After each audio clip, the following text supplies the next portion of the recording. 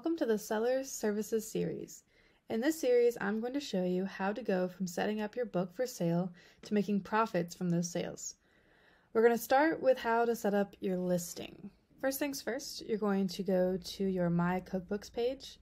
You'll see all of your books listed here.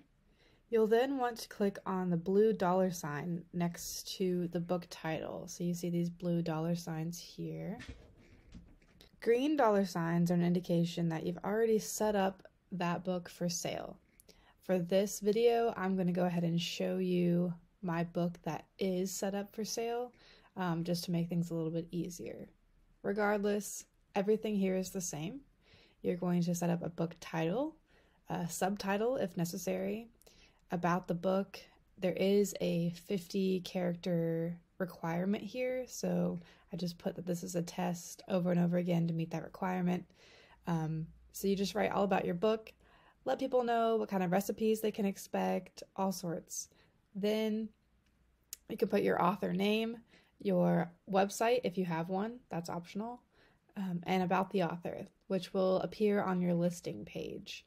So down here, once you get your quote, you're actually going to uh, see that quote right here, and then you can change your profit here. You could make this anything you want.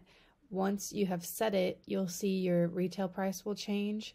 Just keep in mind this retail price does not include shipping. Shipping will be completely dependent on where the purchaser lives and which shipping um, option they prefer. So uh, once you set that up, you make sure this is check marked so that it's for sale. This confirms that people will actually be able to purchase your book, and then you're going to click Update Book Listing. At this point, you'll be able to see all of your listings on the listings page.